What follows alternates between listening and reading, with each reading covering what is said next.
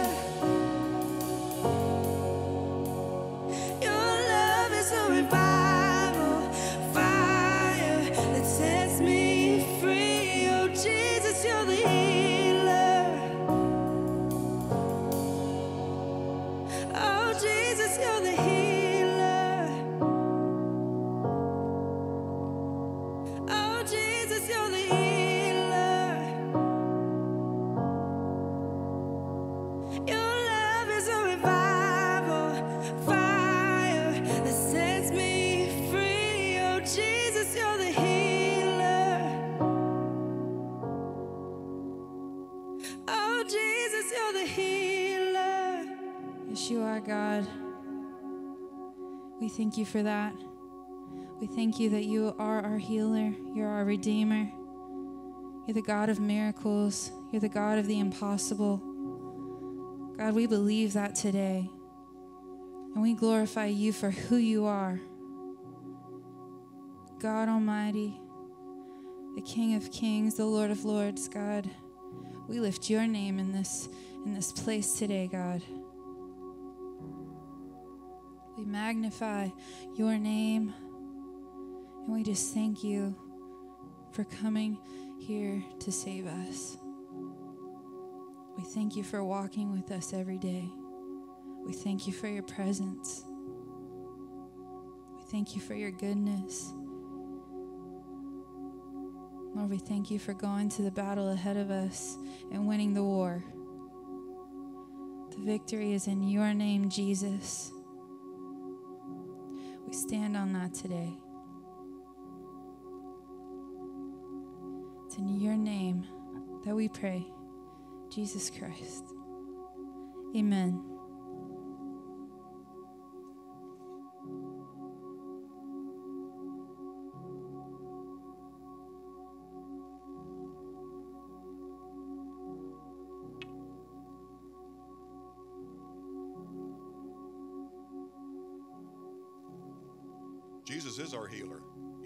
Physically, He heals us spiritually,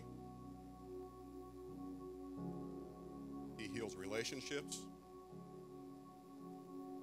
And the greatest relationship He healed was when He died on the cross to heal our relationship with the Father. This is why we take communion every time we gather. And if you're here for the first time and you're not sure what communion is about, don't feel pressured to participate. Just uh, take this time to observe. But we can go all the way back to the third chapter of Genesis to find out why we needed a Savior. Because all of us were born under the curse of Adam, every single one of us. Now, this curse promised that there would be an end to toil and striving, but that end only led, it, led to death, not to reconciliation. You know, the, the curse of death shows that the result of Adam's sin applies to all of us. Because without Jesus Christ, we are dead men and women walking, aren't we?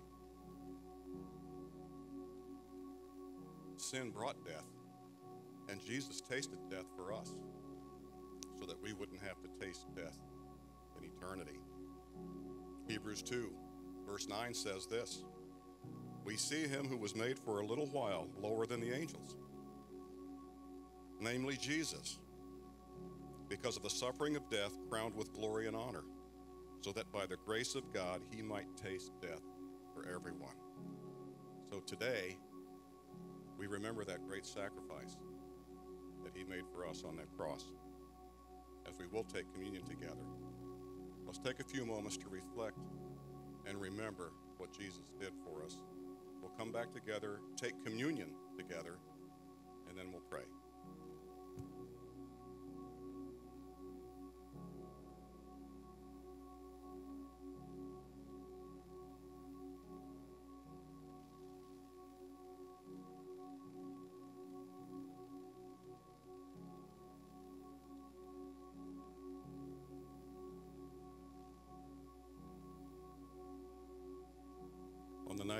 He took bread, he broke it, and after giving thanks, he gave it to his disciples and said, Take this and eat.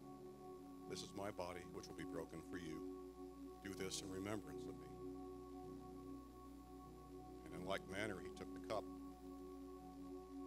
He said, This is the blood of the new and everlasting covenant. It will be shed for all, so that sins may be forgiven. Do this, too, in remembrance of me. Let's pray.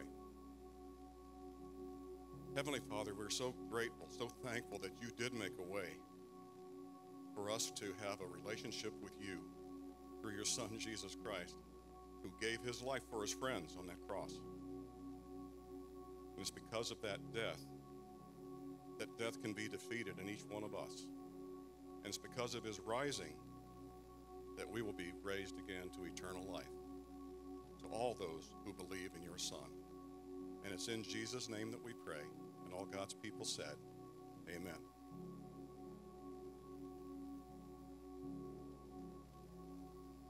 I would assume that most everyone in this room knows you can't take riches with you into heaven, right? But what if that what if it was true? What if the opposite was true and you could do that? You could take your riches into heaven. Would you be rich there too? I want to illustrate by telling a silly little story here. But there was a rich man who was quite distressed over the fact or the prospect of not being able to take his riches into heaven. So he devised a plan. He took two big gold bars out of his personal vault, put them in a briefcase, locked it up, and informed his family that when he passed, that he was to be buried with that briefcase handcuffed to his wrist with the key in his pocket. Sure enough, they remain true to the request. He finds himself at the judgment seat of Christ with his briefcase in his hand. Jesus says, What you got there? What's in that briefcase? So he pulls out the key and he opens it up and he, he shows Jesus these gold bars. Jesus says, Oh, you brought pavers with you. Anybody out there? Gold streets, got it? Uh, anyway, this is a silly story. But the visual of a man standing before the judgment seat of Christ with everything that he thinks is important really isn't unforgettable. But gold is worthless in heaven. We're going to be walking on it. All it's good for is for paving that pedestrian roadway. Instead, Jesus tells us to store up our riches here on earth for our rewards in heaven. He says it this way in Matthew chapter 6 Do not lay up for yourselves treasures on earth where moth and rust destroy, and where thieves break in and steal. But lay up for yourselves treasures in heaven where neither moth nor rust destroys, and where thieves do not break in and steal. For where your treasure is, there your heart will be also. And that really says it all. Sometimes it's tough for us human beings to open up our wallets. God knew that. That's why it's talked about so much in the Bible. But it is a measure of where our heart is. And you have many ways, many opportunities to give. We have secure boxes here in the auditorium and in the hallway. And for those of you who are online, you can give right online. You can text it in, you can do it from the website or the app. And as you do, I pray that you will be blessed. Because God promises that upon each and every one of us. So thank you for giving. I don't know if you noticed, looks like Christmas around here, doesn't it? I want to recognize everyone who came out Saturday and decorated for Christmas. Let's show them a little bit of appreciation, shall we?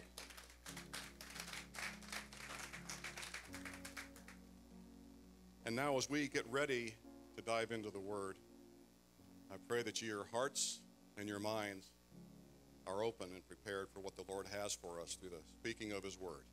Amen.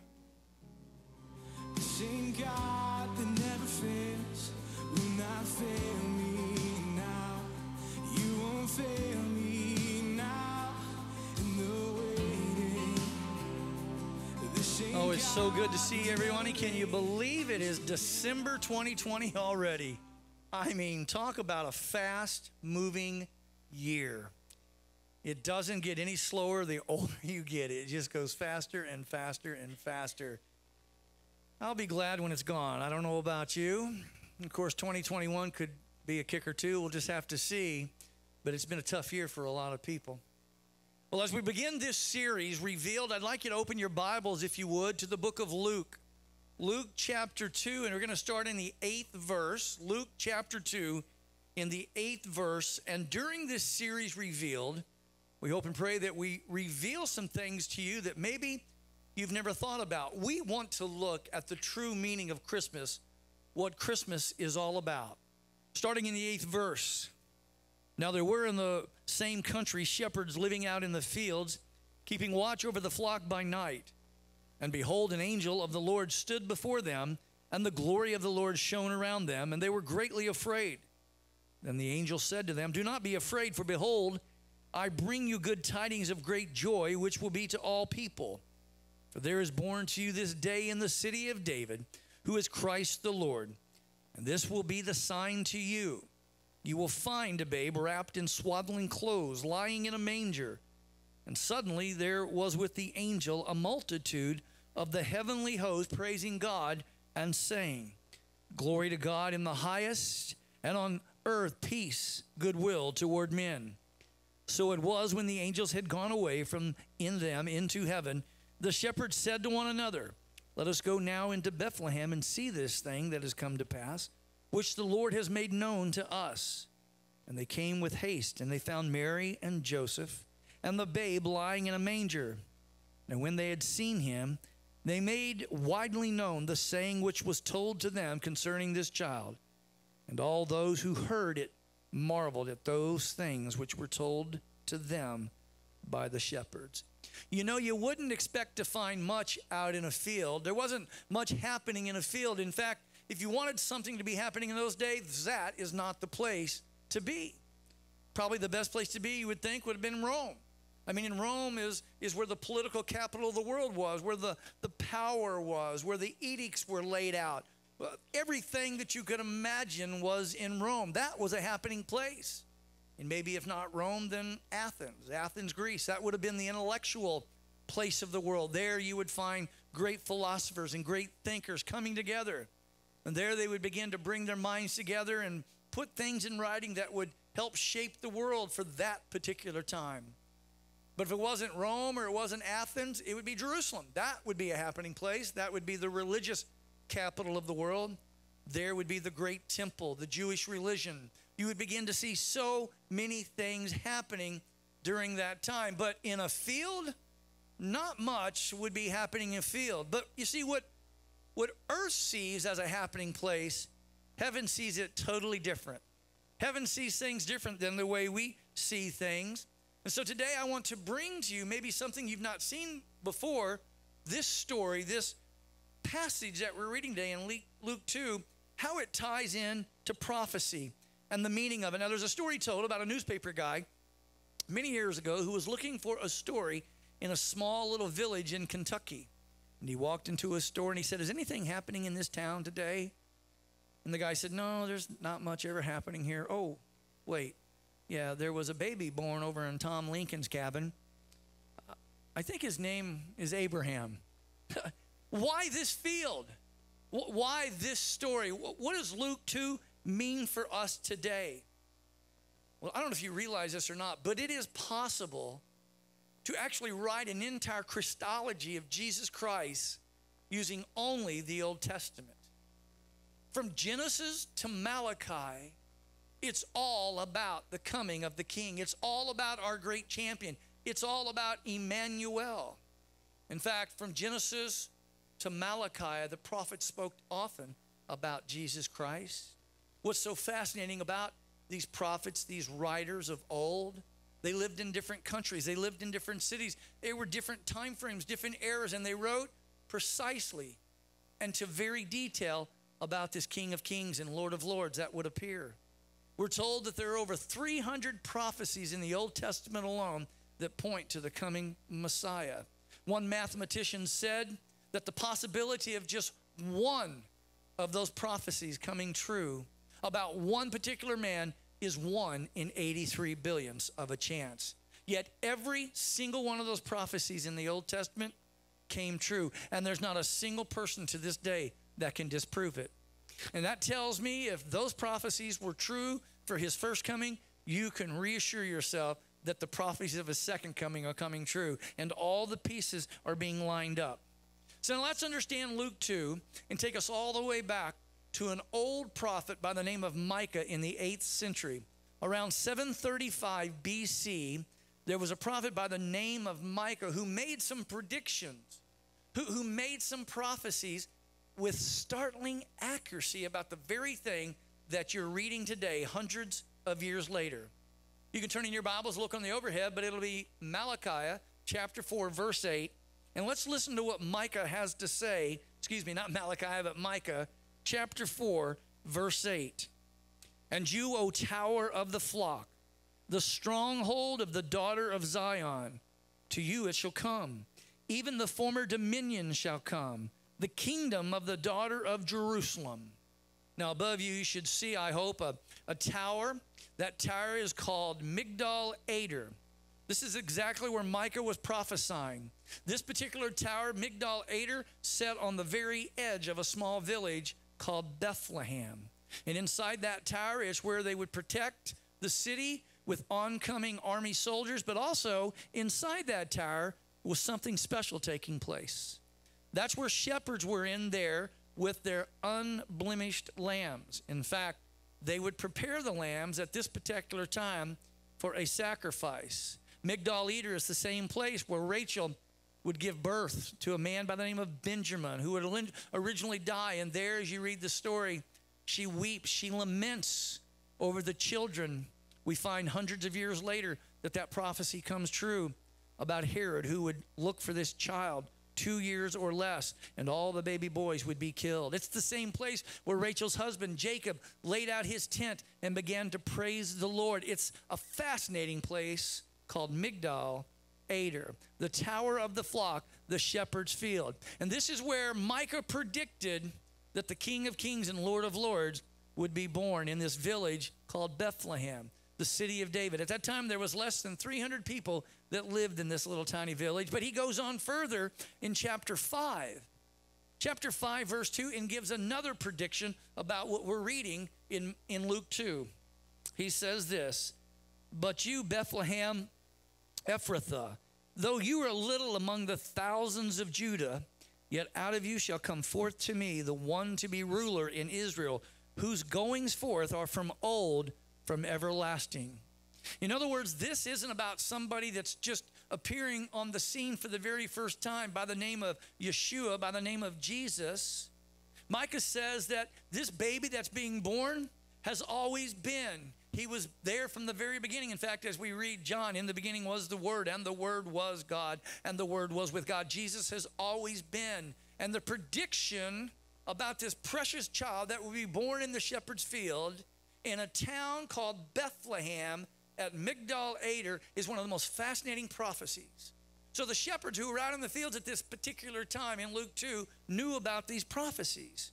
This is such an amazing thing. Now, how did it all come together and what made this thing so unique? Well, if you go to Luke 2 in chapter 1, we understand that Caesar Augustus did an edict. And the edict was uh, to, to ask all of or to tell all of the people from their original lambda descendants that they needed to go back in order for a taxation and a census.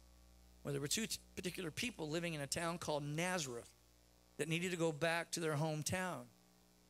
And the one that needed to go back was Joseph.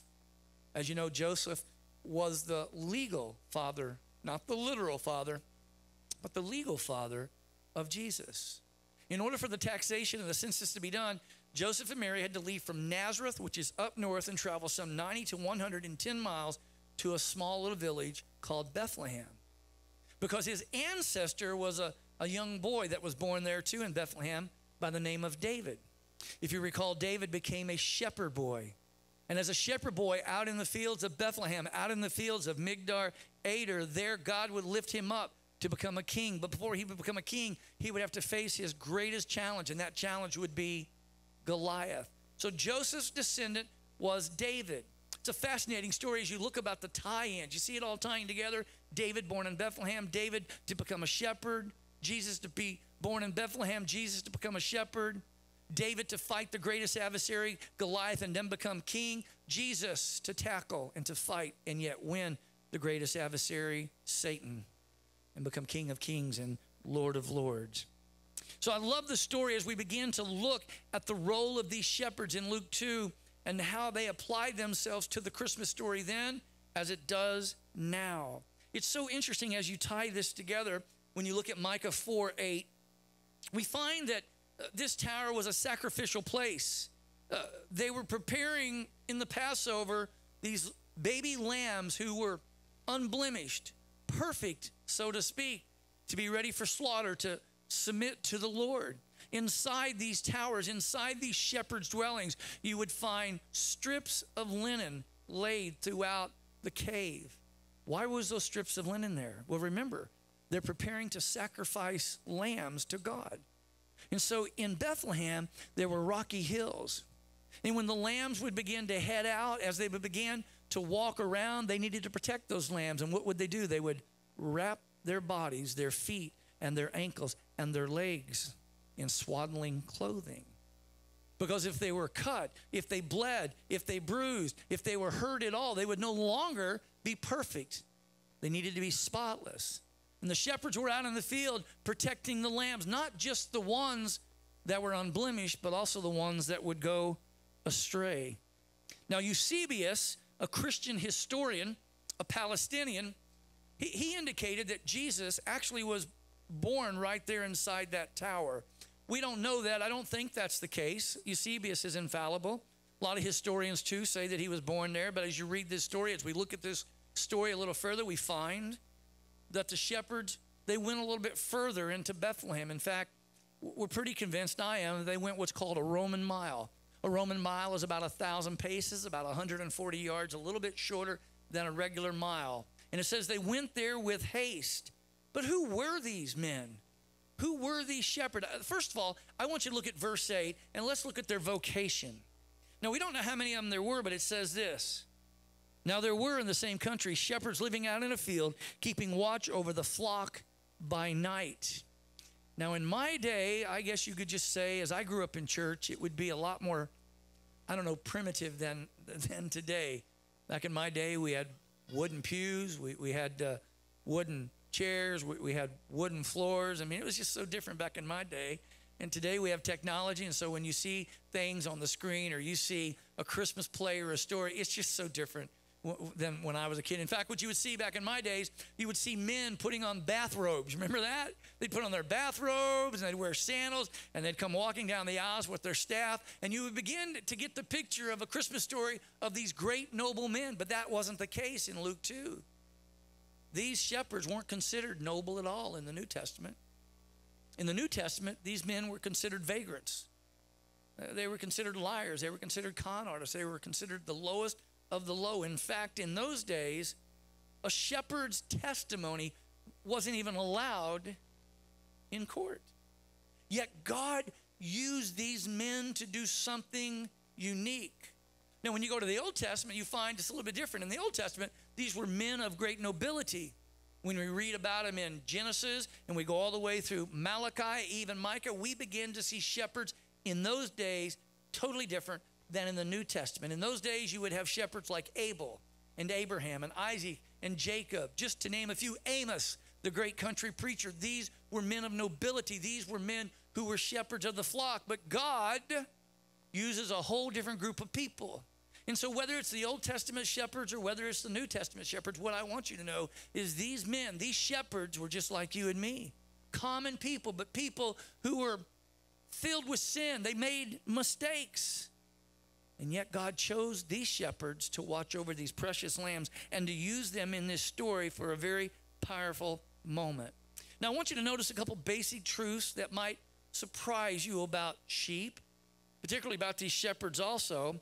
These little uh, uh, fat, fuzzy things that we call lambs were stupid. They just weren't very smart. In fact, I bet some of you think when God calls you a sheep, you think that's a compliment. It's not. No. You see, just like in those days, just like today, sheep were stupid. I'm a sheep. In- fact, the Bible tells us in Isaiah 53 6, all we like sheep have gone astray. There's not a single perfect person. There's not a single sheep that ever does right. These sheep weren't very smart, and today sheep aren't very smart. And because sheep weren't smart then, just as sheep aren't smart now, they needed shepherds. They needed shepherds to guide them and to take care of them and to protect them. Not only did they know that the sheep were stupid, but they needed a provision. And God chose in that provision shepherds. It's interesting throughout history, the shepherd, the under shepherds, they don't seem to get the respect that they deserve. It's interesting how society has changed. It's interesting to see how church has changed. In fact, churches today, sheep today, don't like to have any authority over them whatsoever. In those days, if a sheep wandered off the wrong way, the shepherd would break its leg. It loved that sheep so much to bring it back into the fold, to bring it out of the rut, to keep it from wandering. He would break the leg of a sheep and place that sheep over its shoulders until the leg had healed, and he would nurture that sheep. Folks, it's interesting how God used sheep and shepherds as an analogy for what takes place in a church today. The responsibility that under shepherds have, the responsibility that pastors have, and the responsibility as all of us, including me, sheep have. We need a shepherd. And guess what? God, in His infinite wisdom, God, in His grace and mercy, sent us a lamb, the Lamb of God. When you study that and you think about God leaving the throne room of heaven, born in the person of Jesus Christ into a field, being seen by a bunch of shepherd or shepherds who were sinful. What an amazing story. Why would God do that? You see, God could have chose so many different ways to, to, to deal with reconciliation for you and me. Yeah, God could have wrote an edict. God could have told a goldfish. God could have done anything that he wanted. But God, in his character, God, in his justice, knew that in order for him to have a forever people, for him to want to be with the people that he loves so much, there had to be a sacrificial lamb. There had to be blood sacrifice. There had to be the shedding of blood. And the only way to do it was for him himself. He was the only one that could meet the demands of the law, his law. And so there he becomes Jesus in the flesh. In fact, when you study the Old Testament and you go over to the New Testament, you find in Luke 24 44 that Jesus said everything that was written, everything that you've read about and everything that you've heard about in the Old Testament, the laws of Moses, the prophets, and the book of Psalm, which at that time compiled everything about the Old Testament, he says was written about me. In order for Jesus to be who he was, who he is, the Old Testament prophecies had to be fulfilled, even to the point of Luke 2 of the story that we're in today. Even to the point of learning that sheep would go astray. Um, in Israel, I remember as we were coming down the Judean hillside, um, we were on a tour bus, a whole bunch of us. And um, I, I noticed these sheep with these big horns who were following each other, walking in these like large. At that time, I didn't know what they were. And I said to Dr. Dean, What are those? And it was a special sheep. It's the actual sheep where the horns fall off and they use for the shofar. I said, What, what are those things they're walking in? He said, Sheep are so dumb.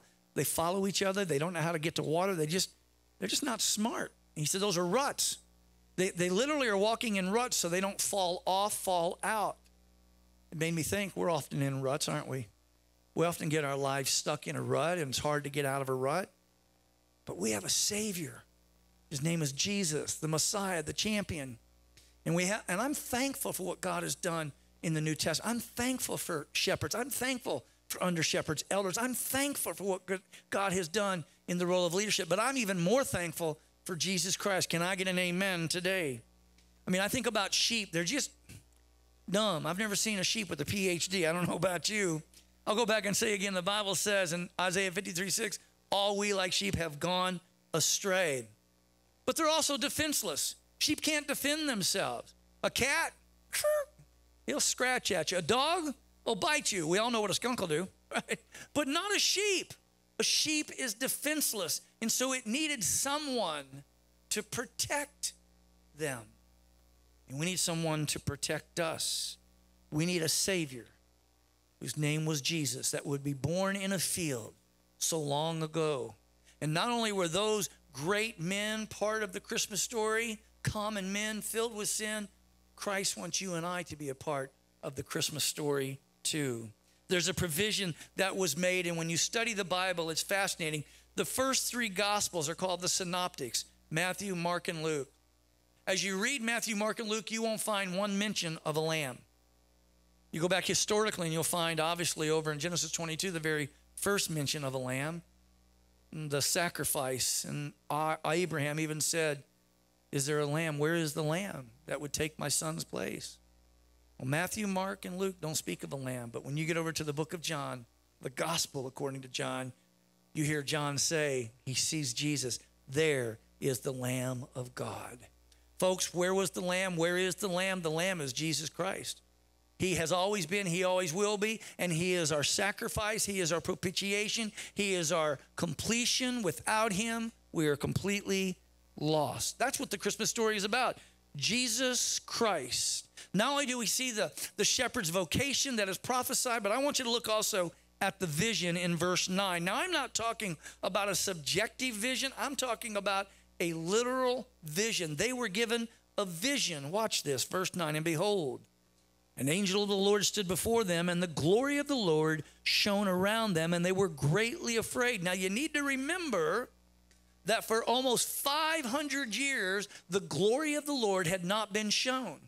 In fact, the glory of the Lord had been withdrawn. There had been no glory seen at all. Yet, over in Psalms 19, the Bible says the heavens declared the glory of God.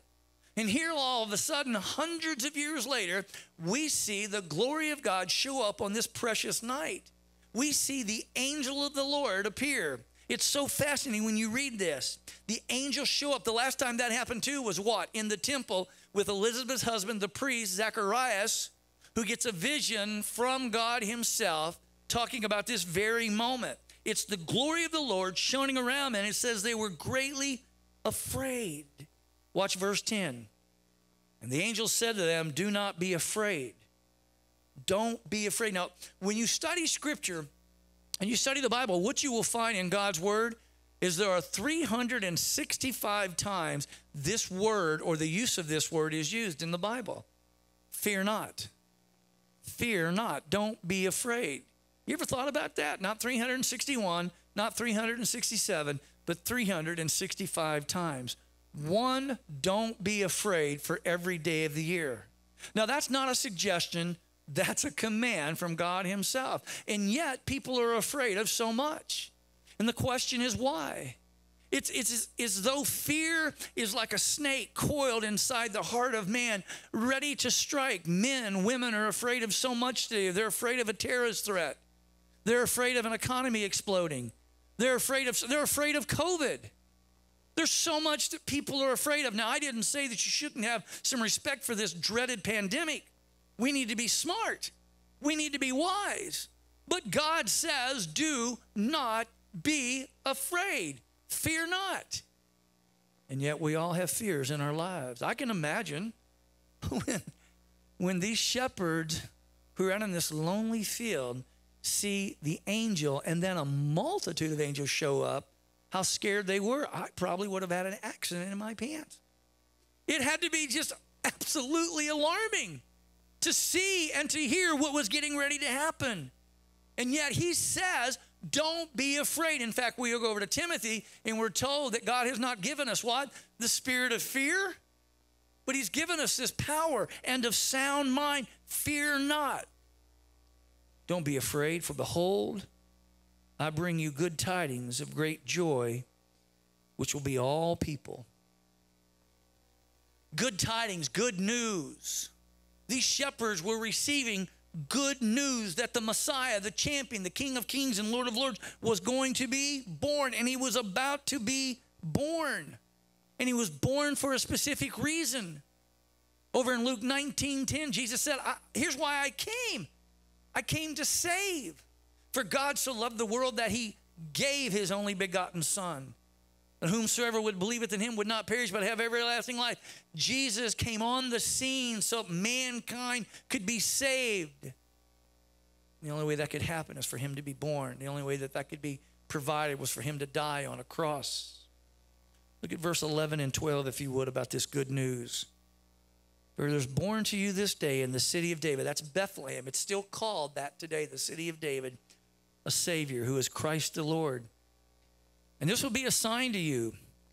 You'll find a babe wrapped in swaddling clothes lying in a manger. Now that's that's their vision. And they, what's so fascinating is when you apply what Micah had said so many years, in the 8th century, hundreds of years before, that the Messiah would be born right there.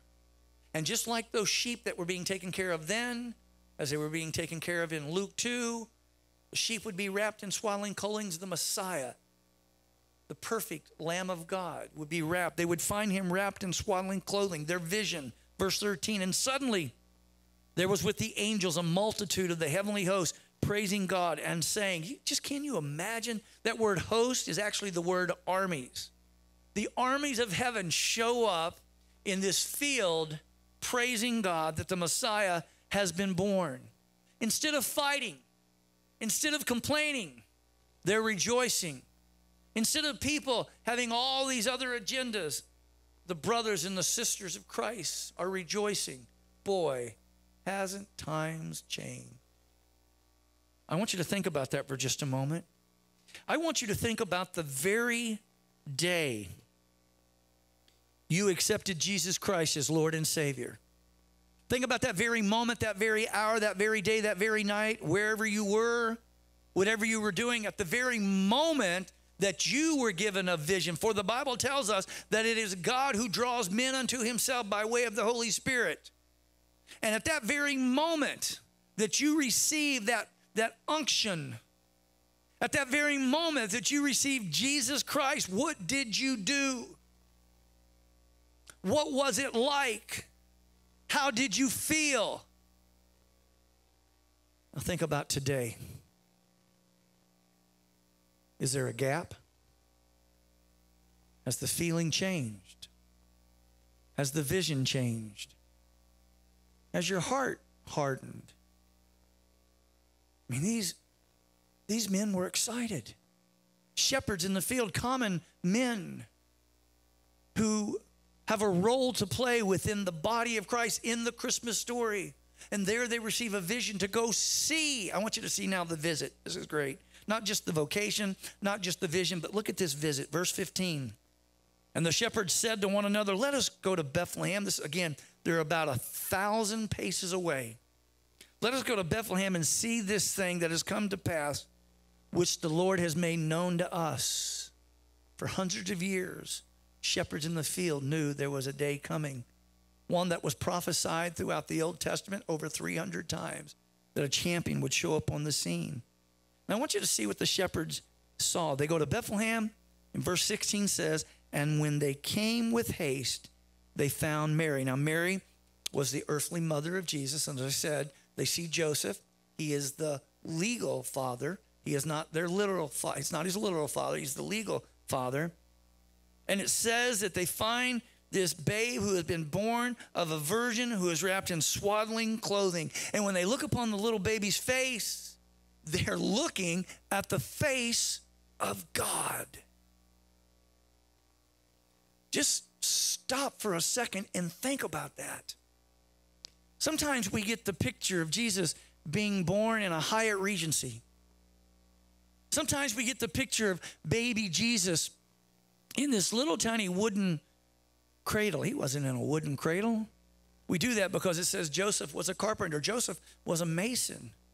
They worked with concrete, they worked with mortar, they worked with, there was not a lot of wood in those days out in the valleys. Jesus was born in a trough. King of kings, Lord of lords, Son of God, God in the flesh. And these shepherds saw it. And they looked upon the face of God. Can you imagine God looking back at them? Here's this little baby who literally has subjected himself to the care of a precious little girl, and yet he is the one that spoke everything into existence. He's the one that, with a single word, holds everything into existence. Inside this trough, laying there in a manger. And they're so excited what they have seen. And because they see it, you go on and read in verse 16, in verse 17, they were filled with joy. And guess what it says? They went out and they proclaimed with great tidings. They told other people about what they had seen. I, I kind of think right here is when we see the first New Testament evangelist. They were out telling the story of Jesus. Sometimes, in fact, many times, we get the wrong idea about Christmas. I, I don't mean to bust anybody's bubble. I, I found myself over the last few years, a little bit longer, that Christmas is not what Christmas should be. In fact, you watch kids everywhere getting all these gifts. And then when they're done, they say, Is there any more? I mean, you see wrappers being thrown everywhere, boxes being thrown everywhere. And we forget the true meaning of Christmas. Oh, I think it's nice to give a gift or get a gift, but that's not what Christmas is about. Christmas is about Jesus. And the greatest gift that you could ever give to someone is that which you already have the message of Jesus Christ, the good news. Now, I want to go back and ask you again that very day, that very hour, you received Jesus as Lord and Savior. My guess is you told someone. My guess is that day, that week, probably at church, probably somewhere else, you were telling people about Jesus Christ and the good news. How about today? You see, there's a lot of people that don't know what you know. In fact, those shepherds, they didn't even know about the cross at that time. They just knew about a baby. But, folks, you know about a cross, you know about a Savior. You know about a man who shed his blood, who gave his life, who was the true sacrificial lamb that went to a cross on Calvary. And when he was on the cross, you were on his mind. If you'd have been the only person ever alive, he still would have died for you. I, I hope you think about that today. There may be some of you here today that's never confessed Jesus as Lord and Savior. Some who are watching today live that's never called upon the name of Jesus Christ. If you're in your Bibles right now at home, turn to Matthew 10, chapter 32 and 33. For there it says, If you confess me before my Father in this generation, I will confess you before my Father in the next. That means your testimony needs to be given today. That means if you will say that I believe that Jesus is the Christ, the Son of the living God, and I accept him as my Lord and Savior. That's what Jesus was talking about. He said, if you'll do that before men this hour, because the Bible tells us today is the day of salvation. It is not tomorrow. It is not next week. It is right now in every church across America or in every home. That's what he says in verse 32. But in verse 33, he says this If you will not confess me before men in this generation, I will not confess you before the Father in the next. If you're ashamed of me here, I will be ashamed of you there. And there will be too late. And the Bible says that everything that was ever created, I, some great mystery, everything will bend a knee and bow a head at the name of Jesus. And at that time, everyone will confess Jesus is Lord and Savior, but it'll be too late. It's now. And so if you are here today, don't delay. You might have a big title here, you might be a big fancy person here, you might have all the things you want, but I'm telling you, you can't get to God and you can't get to heaven unless you go through Jesus. His name has to be confessed. Maybe you've confessed Jesus, but you've never been immersed. You've never been baptized, lowered into the watery graves of baptism behind me to go down, to be plunged, to be immersed, and brought up in like manner as a death, burial, and resurrection of Jesus Christ, and there receive the gift of the Holy Spirit. Acts 2 38 through 47. That is what's available today. Don't delay because 2020 is moving fast. No man knoweth the hour, no man knoweth the time. Let's pray. Father, we thank you so much for how, from the very beginning of time until this very moment, everything wraps around Jesus. Thank you, God, for the kind of God that you are loving us first. Thank you, Father God, before the foundations of the earth were ever laid, you had us in mind. But thank you, God, for bringing forth a propitiation, a satisfaction, a sacrifice to meet the demands that you called upon because of your character and justice. And we thank you for Jesus. We thank you for the shed blood that covers us so that when you look at those that have confessed Jesus, you see Jesus in us. You see the blood because, Father God, we are like those shepherds, men, women filled with sin. And yet, Father, because of the blood, it's washed away as white as snow. We are feeble. We make mistakes, but you are a loving, great God, not because of anything that we've done, but because of everything you've done through your Son, Jesus Christ. And we pray today that there might be someone who would confess your Son as Lord and Savior and give their life completely to Him. We ask you, God, to be with those emotionally, relationally, physically, financially, and spiritually, to heal them in the name of Jesus Christ. We thank you, Father God, for the prophets of old, for the promise of today, hope for tomorrow, that we have a home in heaven, your forever family being with you.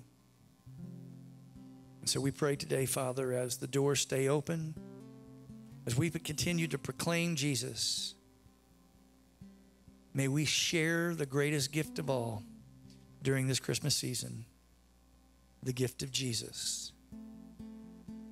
It's in His name that we pray, and all of God's people say. If you have a decision to make today, I'm going to ask you just to come forward right now. We'll have decision guides on each side of the walls to pray with you to take your confession, to talk to you. Maybe if you're online watching today, we'll keep our doors open waiting for you. Let's stand.